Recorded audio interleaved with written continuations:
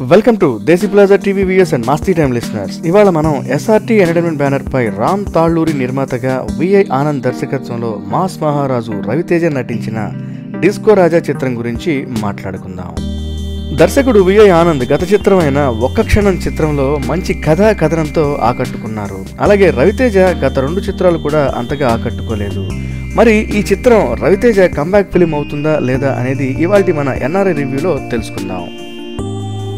ఇక కథ విషయానికి వస్తే లడాఖ్లోని మంచు ప్రాంతంలో ఒక డెడ్ బాడీని తీసుకొచ్చి ఆధునిక సైన్స్ పద్ధతులు ఉపయోగించి కొంతమంది డాక్టర్లు ఆ డెడ్ బాడీకి ప్రాణం పోస్తారు.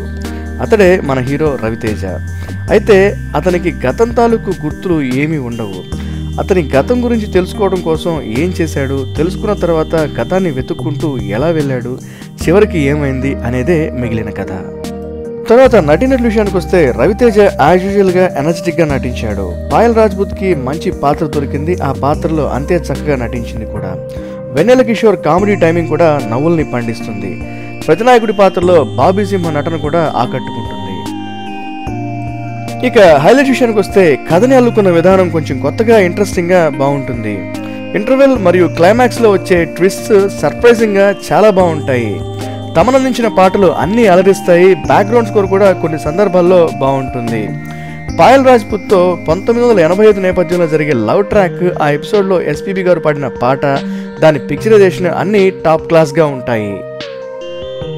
ఇక డ్రాబ్యాక్ విషయానికి వస్తే కథ కోసం తీసుకున్న పాయింట్ కొంచెం కొత్తగా ఉన్న కథనం నెమ్మదిగా ఉంటుంది. చివరికి ఒక రెగ్యులర్ రెవెంజ్ మూవీ లాగా అనిపిస్తుంది.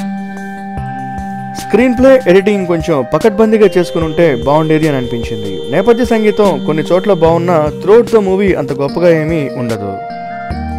ఫైనల్గా చెప్పేది ఏంటంటే ఇవాళ విడుదలైన డిస్కోరాజా చిత్రం రవితేజ కంబ్యాక్ ఫిల్మ్ అని చెప్పను కానీ పాయింట్ కొంచెం కొత్తగా ఉంటుంది. అలాగే రవితేజ గత రెండు చిత్రాలలాగా నిరుత్సాహపరచదు పర్వాలేదు అనిపిస్తుంది. సో రవితేజ ఎనర్జిక్ పర్ఫార్మెన్స్ కోసం ఒకసారి చూసి ఆనందించవచ్చని చెప్పగలను. దేశీ ప్లాజా ఇస్తున్న rating two point seven five out of five ఇంకొక రివ్యూతో మళ్ళీ కలుద్దాం. అప్పటి వరకు సెలవు.